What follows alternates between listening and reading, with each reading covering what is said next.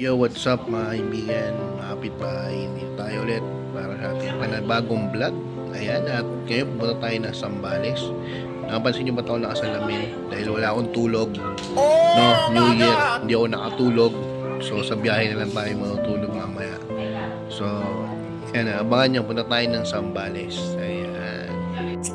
At ayun na nga mga kaibigan, kami po ay pupunta na ng Olongapo City at Sambales. Actually, boundary po siya ng Olongapo at Sambales. Pakita-kita niyo naman po mga kaibigan, no?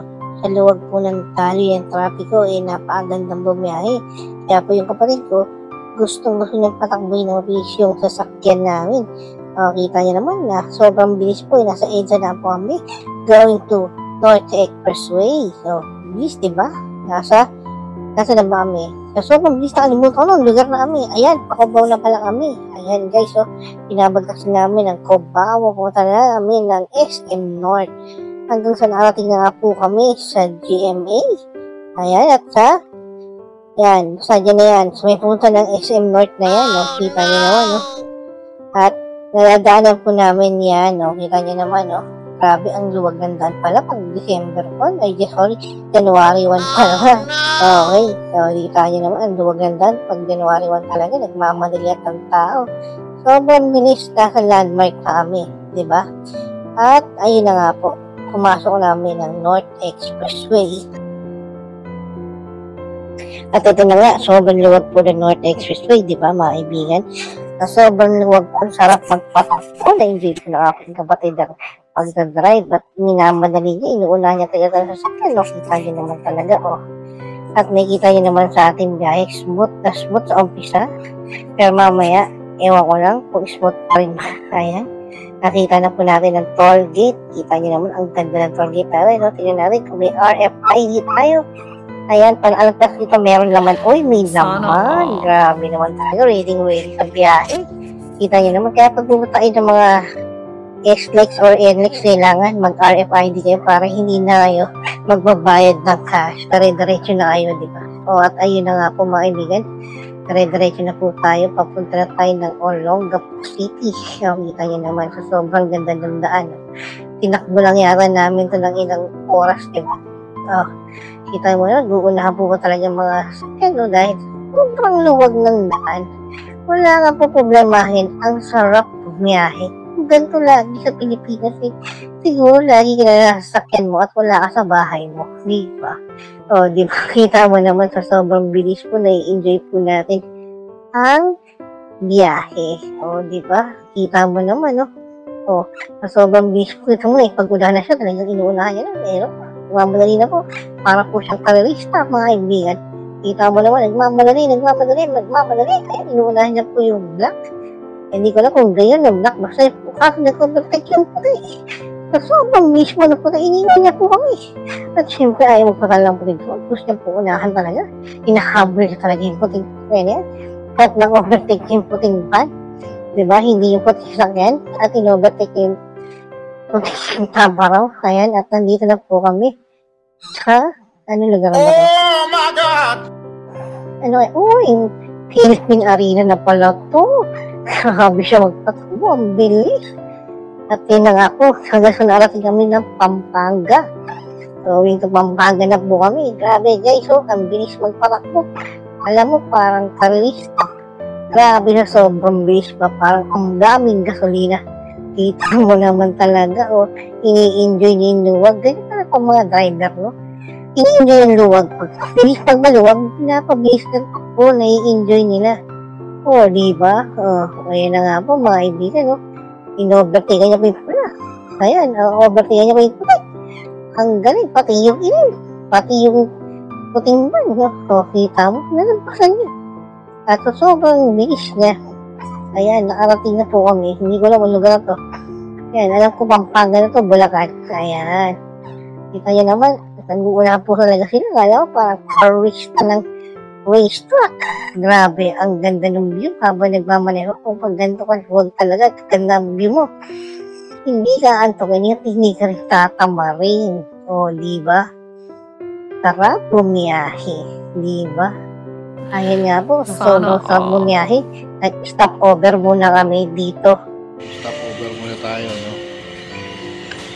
tayo ngayon sa Pampanga.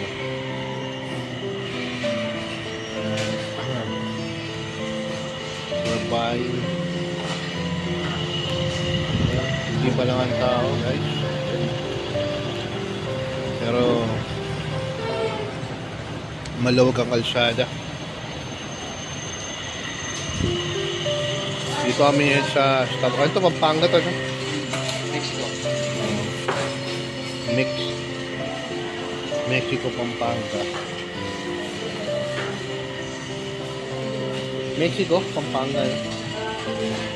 ito lang po ang Mexico na nasa Pilipinas Pampanga Okay guys, ito na po. Papunta na po tayo ng Olongapo City. Ayan o. At konting trivia lang. Tanda natin na ang Olongapo dyan na-allocate ang Navy base ng Amerika dati. Di ba? Ang natinatawag na ngayon na Subic Base. Di ba? So, doon. Sa Subic Bay, doon nakabase yung mga sandalo ng Amerika, yung mga kanilang barko. Diyan dumadaong. Dahil preparation noon, nung panahon, nila sa gera noon, doon nila hinahanda. You know, para in case na umatake ang mga mga ibang bansa, eh, mas malapit ang mga barko ng Amerika para sumaklolo sa akin doon sa Olongapo. Kaya mapapansin nyo sa Olongapo, maraming ano, maraming foreigner dahil nga doon. Ayan. At doon din, marami din ang mga sumikat na banda ng 80s. At until now, meron pa rin mga gumagawa ng mga pangalan sa music industry sa Olongapo. Like, Isimil. Isimil is from Olongapo City. At ganoon din sa kanyang tatay, ang bandang rockstar. At Maria Capra nung 80s din, nung araw, dyan din na-abay sa Olongapo. At nandito na nga kami. Sa Olongapo City guys, kaya enjoy natin itong aking kasabihin. Okay guys, we're here at uh, Treasure Island. So we'll have some relaxation here at Olongapo City. Right? Say hi. Dito na po makikita ni Rhea ang kanyang true love. Okay guys, so, mamaya ulit. Kaya kami mga kasabay namin. Ha? Mga ano kami, stateside. Okay guys, I'm here at Olongapo City. Yeah. Oh, you're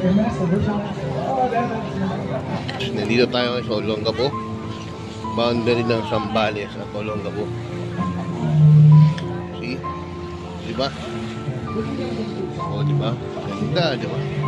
At ayun na nga mga kaibigan, dito na kami sa resort sa Olongapo City sa Treasure Island. Sana no? all. Pasensya na ako nag-English ako kanina dahil hindi ko naman expected na marami palang foreigner doon sa pinuntahan namin. Kita niyo naman, ang ganda ng lugar, di ba? Oo, sarap, lumangoy. Kita mo naman, makapagawa naman si ma-hybrid dito, ha? Ayan, no, kitang-kita naman, ang ganda ng bundok at yung paglubog ng araw. Okay, at mamaya-maya, bago mag-swimming, eh, nakadyan mga kapatid ko. it.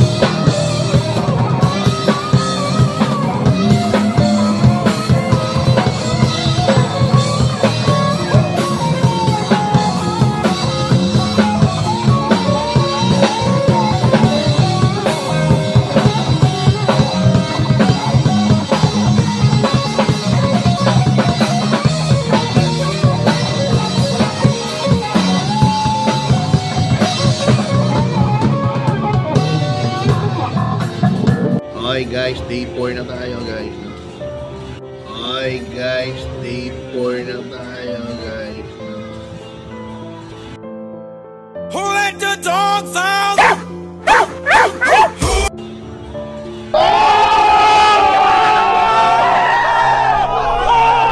Oy! yeah, boss Jiggy. Oh. Sabi. Ayan. Bawal kayo magkita, gagawa at gagawa ka ng parang para magkita kayo, di ba? Bagay. Hindi grow. Grabe. Ah, minsan sir, pag may isipan yung mag-aailan na, doon yung bangka natin. Unti yan. An antindi ah. Stop pa. Okay, guys, sisingit tayo, yung yan, para- Part na Ah. nang namin yan, strategy namin yun sir, eh. ano ka Tanong-tanong, oh, matindi ka talaga. Idol. Hindi na niisip. Convince me. Convince me. Hindi na naisip na hypnotize na sila. Hindi na naisip na hypnotize na sila. Isip yan. Pagsakay ng bangka, oh, ba't nakita ako sa bangka? Ano? Hello sir. Wow. Pinaka ano ng matahin, dalawang ba po? Yeah. Paano mo magsalita ng taga-Olongga po? Ha? English. English. Paano pag may guest ka English? Good morning. So, And afternoon. Good morning. So. Oh my God! Good morning. Nasa afternoon na agad. At ayun nga ako mga kaibigan, no? nag-swimming po yung nanay ko. Grabe, ang sarap ng langoy. Okay, tama naman talaga naman. Nag-enjoy talaga yung nanay ko, di ba? At syempre, after namin lumangoy, nagutom kami. At tumodol nga kami ng daing na bango sa torta. Ay, in fairness guys, ah, iba yung torta dito, napakasarap. First time ko kumain ng torta. Hindi mo kasi mahilig kumain ng torta talaga eh.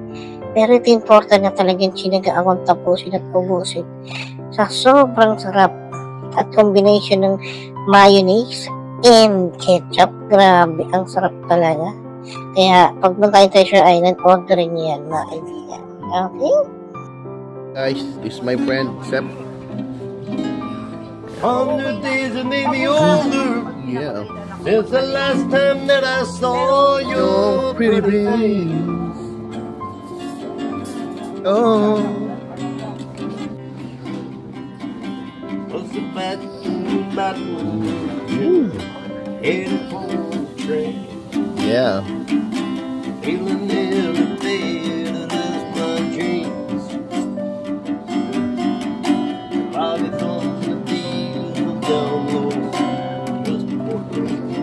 At ayun nga, nakita kami ng Tita Melody ko sa Olonga po. Actually, dito siya na-abay talaga ng lola ko at ng pamilya nila, no? At ayun nga, nakita din kami ng aking friend na galing Dubai. Ayan, na taga Olonga po din at kulito kami, nag-vlog-vlog kami. Ayan, mga kaibigan, di ba? O, kita mo, sabi niya, para daw akong higante at siya daw ay diwende. Sabi. May ganon, di ba? O, kita niyo naman, di ba, saya-saya namin, no? Nagkukulitan, nagtatawanan. O, kita niyo naman talaga nun, kinikilig pa yung kasama ko. Alam mo naman, sikat yung kasama niya. Huwag mag-alala, pasikat pa lang ako, di ba? Ayan. Okay. Hi, Ma'am Shai! Shout out! Nakita na kami ni Cool J! Oh, kayo dito sa Olonga po. oh, yung ano, grupo nila. Yung mga Pinoy Dubai. eh, The XP Vlogger! Hi! yeah. Grabe. At bumalik na nga kami dun sa aming resort. Grabe, ang ganda ng aming resort talaga. Treasure Island, kita niyo naman, di ba? Napakasipag po ng mga trabahador yan at ang gaganda pa. At ang mabait pa, kakwentuhan. Puro kwela. Grabe. Ayan po, oh. kita niyo naman sila, oh. Very hardworking, lalo to si ate, no? O, di ba? Kita mo na, tuwili mo sa camera ko, di ba? Nag-shake sila, nagkahalo sila ng beer shake, something like that. No? At nakita nyo guys dito sa Treasure Island, kung gusto nyo ng relaxing na place, Treasure Island is the best. Grabe. To be honest, napakaganda, peaceful. Ayun nga lang, puro kano. Kailangan i-ready mo yung English mo. Ayan. And kinulat ko nga pala yung sunset. Ano, grabe. Ang ganda ng sunset, di ba? Parang sa libro mo lang nakikita yun, pero Grabe, napakaganda ng sunset dito sa Olongapo City. Hey guys, uh, it's our last night here. Last night na namin sa Treasure Island. Ayan. So, nag-enjoy kami dito sa Treasure Island. And hopefully, I will come back here. No? Sana abangan nyo yun. Yun na nga po, pauwi na nga kami mga kaibigan ng Manila. Sa biyaheng ito na-realize ko na, you know, minsan kailangan mo din mag-relax, hindi puro trabaho. You need to go out of the comfort zone and enjoy life, di ba? At para pagbalik mo ulit sa realidad, back to normal ulit at handang-handaan ang harapin ng mga pagsubok sa buhay mo. Kaya, guys, keep grinding and enjoy life.